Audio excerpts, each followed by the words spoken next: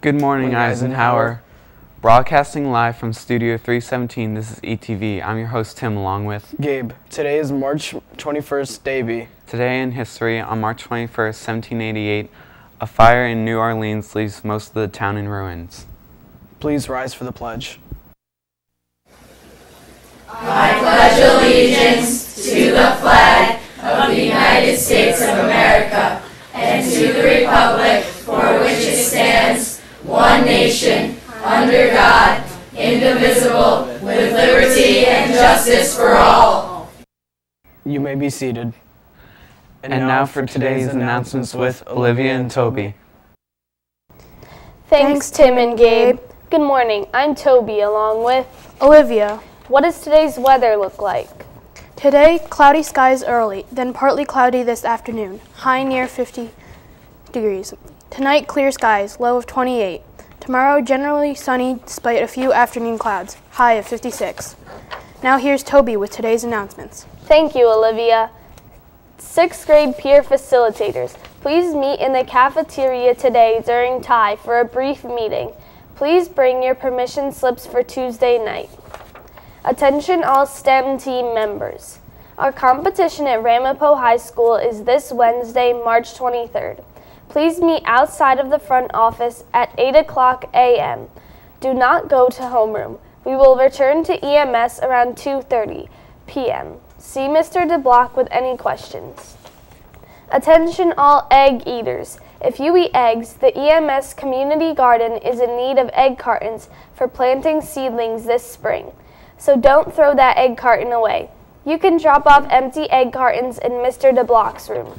Here's Olivia with the rest of the day's announcements. Thank you, Toby. Miss Geary is not present today for her speech and language students. Here is the ETV quiz standings update. Miss Trafficanti's homeroom is in first place with 20 points. Mr. Ski's homeroom is in second place with 17 points. Mr. W's homeroom is in third place with 14 points, followed by Miss Langenfeld's homeroom with 13 points. Tied for fifth place with 11 points are the homerooms of Miss McCann, Mrs. Croissant, Mrs. Tyrone, and Miss Piazza. Is Eisenhower celebrating any birthdays today?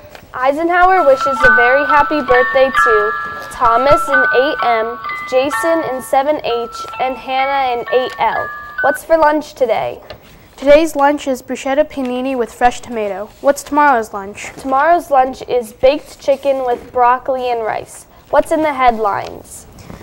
President Obama landed in Cuba on Sunday, pledging to meet with the Cuban people and encourage contact between the United States and Cuba after more than a half a century of hostility.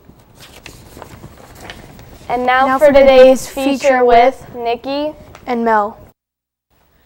Thanks, Toby and Olivia. Hey Mel, how much wood could a woodchuck chuck if a woodchuck could chuck wood? Wow, you're pretty good at tongue twisters. I've been practicing. Let's go watch this feature on tongue twisters. Tongue twisters have been around for quite a long time. From children to adults, tongue twisters are enjoyed. Let's see if Eisenhower can say these tricky tongue twisters. So, Alvo and Nico, can you say tongue twisters without twisting your tongue? Um, pretty good at tongue twisters. Can you show us? Sure.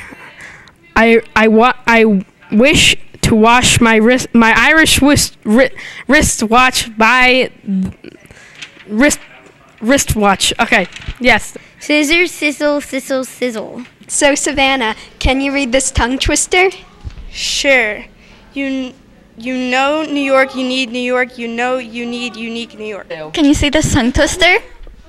Why, yes, I can. We're real, rear, wheels, we're real, we're, weirs. Um, yeah.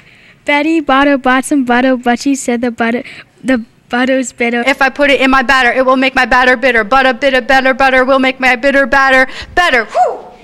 Can you say a tongue twister? The great Greek grape growers grow great Greek grapes. Yeah. We're wheels, real, rear.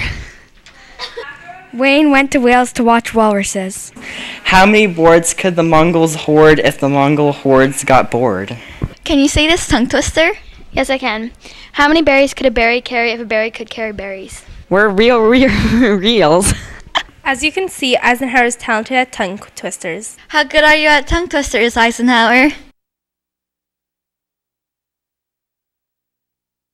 What a confusing feature. Yeah, it really twisted my tongue. Tomorrow's feature is on Live Witness News. Now back to our hosts, Gabe and, and Tim. Tim. Thanks, Nikki and Mel. And now for the joke of the day. Which mountain always is sleeping? Which one? Mount Everest. Ooh. Oops. Thanks, for watching, Eisenhower. Have a lit Monday. Thank